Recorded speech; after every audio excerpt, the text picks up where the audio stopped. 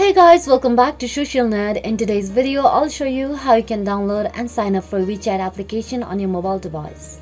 It is an instant messaging app. The basic functions of WeChat allows its user to send words, emojis, picture one-on-one -on -one with contacts. They can also do audio calls and video calls. Users can also form a WeChat group with as many as 500 people and hold group WeChat calls with as many as 9 people. You can also share your photos, 15 second videos, music or web links for your chosen WeChat contacts. And also you can make your payment and bills online. So in order to use all those features, first you need to download and sign up for this application on your mobile device. In order to do that, first you have to go to the Play Store application on your mobile device and tap on it to open. Now on the search bar, search for WeChat and once you find the relevant results, go and tap on install. Now wait for the downloads to complete and once the download is complete go to the application and tap on it to open.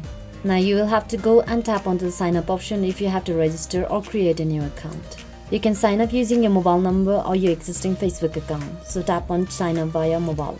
Because if you choose to sign up via facebook you still need to provide your phone number in the end. So now once you're on the sign up page by phone number, you will have to enter your personal details. Once you have entered your details, go and tap on agree to terms of service and tap on sign up. Now you need to read and accept the privacy policy. So go and tap onto this box, then tap on next. Now follow the instruction and verify the security verification.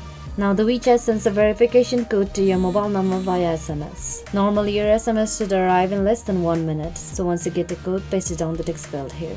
Once you have entered the verification code, tap on next. And once you see this Find WeChat Friends pop up on your screen, you will have successfully created your WeChat account on your mobile device.